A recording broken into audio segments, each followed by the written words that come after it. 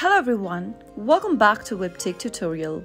In today's video, I'm going to show you how to change name on AliExpress application. If you want to change your display name on AliExpress, then the process is quite simple, so let's dive in into the video. Launch open your AliExpress application and make sure that you're logged into your account. After you're inside the main home page, go ahead and tap on the account button appearing at the bottom right hand corner. Now, go ahead and tap on your user ID at the top left. Right next to your username, tap on Edit. Tap on your name one more time in the display and then erase your current name. Now type in your new name you'd like to set for your account. Finally, tap on Save and as soon as you do that, you'll be able to change your name on AliExpress. If you found the video to be helpful, go ahead and give us a thumbs up. Don't forget to subscribe to our channel by hitting that subscribe button.